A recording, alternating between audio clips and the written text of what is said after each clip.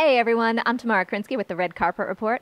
I'm here on the set of the ABC Family hit show, The Fosters. They had an incredible season one, and we're going to talk to the cast about what we can expect in season two. Okay, so you were just telling me you guys are shooting episode nine right now? Yeah, yeah, we're in the middle of nine. We're finishing it up, and then we'll do ten, and then we'll take our little break and come back in the fall and finish the season.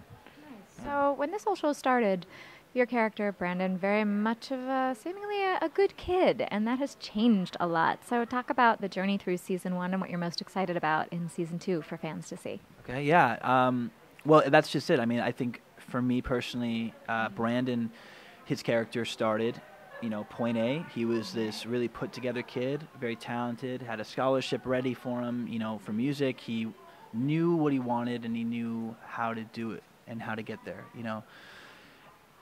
Callie comes in, and uh, ever, it always starts with Callie coming in.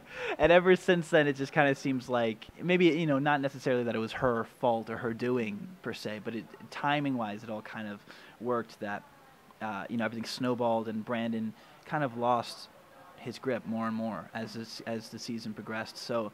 And then it, you know, climax at the very end with um, with Vico, and you know, there was a few things there with Callie too.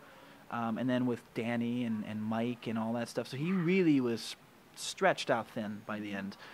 Um, and I think that was sort of his journey was his more. I mean, downward spiral makes it sound a little, you know, s- more sad than it is. But it's it's a it's a, a journey. It's a life lesson that he had to go through, and it's a very normal story. You know, like for a high school kid to you know be fighting for you know his love you know mm-hmm. and and in his mind you know I what do you have to say about that? You know i mean you guys you and callie are kept apart by some i'd call them extraordinary circumstances you're dealing with adoption and family and some interesting definitions there but it's still that feeling of oh, i can't have the one that i want. Yeah, exactly. what how do you how do you tell someone how to deal with that? What advice would you give about that? Well you know i mean for me it was totally relatable. It was actually really cool to play because I totally remember being in high school, like 15, 16, having a really intense crush on a girl and like feeling at the time like you will do anything to like make it happen or like you know make them happy or whatever it is and and that was what Brandon was going through. It was just in his his own situation, his own story, and um, it, it, it was actually kind of a cool full circle moment for me. You know, just to kind of be able to portray that. Um, no, I think it's a very normal life thing for people to go through. You know, um, hopefully you don't end up with you know uh, someone beating you up in a parking lot. Yeah, let's but, talk uh, about your hand for a second yeah. and the role that music has played and how that's going to change in season right.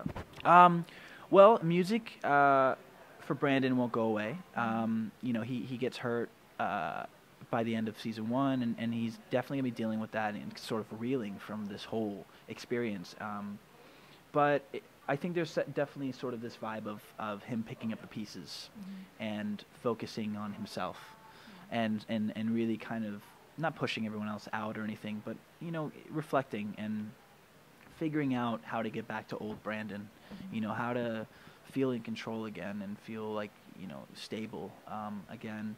And I think that's going to come from him doing things like focusing on music. Um, he gets into a band. He he uh, mm-hmm. finds himself joining a band, and that's that's sort of how his music shifts. Is it, it become you know from more classical stuff into more you know just expressive kind of whatever you know. You you play as well, right? Yeah, I do. I do. I, I play piano before the show actually, which is you know kind of a cool thing that I share with with Brandon. But um, yeah, it's it's a lot of fun. I mean, it's a lot of fun to have this character who's evolving so much and. I feel so close to him now just because he went through so much now, and it'll be cool to see what else he what he goes through in season two. And um, talk about the evolving relationship with your dad on the show and your mom's on the show. Yeah. You know. Um, well, you know, there's some unresolved stuff there with with just a bit, a little bit of unresolved issues there with with Mike and Brandon. Uh, the the vibe between them in season two, it's it's Brandon sort of feeling really ashamed, honestly, mm-hmm. uh, and not not knowing how to handle that. That's going to be one issue that will be handled in season two that has not been resolved yet. Everything else has been kind of squared away for him, which is which is nice.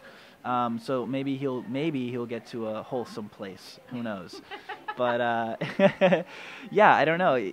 He um, the great thing about Brandon is he even when he makes mistakes and messes up, it's always out of a place of it, he's just trying to do the right thing, even if it's the wrong thing to do. He's just trying to help somebody or help himself or get an answer, you know. And and that's what I love playing about him is it never comes out of a place of you know a dark place or, or a place of re- revenge or anything like that, you know. Well, and that's one of the reasons that we really root for him throughout Yeah. this whole series.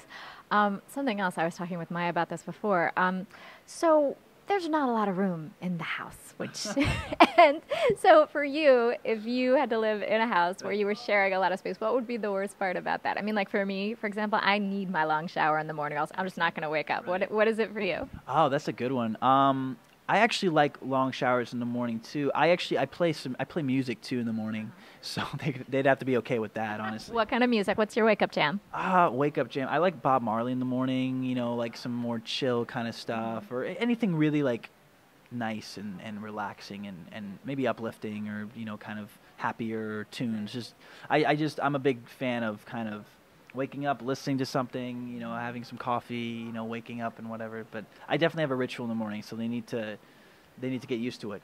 All right, you heard it here. Respect the ritual. I want to wish you best of luck with season two, and thanks for talking with us. Thank you very much. Thanks so much for watching our coverage of The Fosters. If you like the video, hit like, and if you want to see more, hit subscribe. And leave us a comment telling us what you're looking forward to in season two of The Fosters.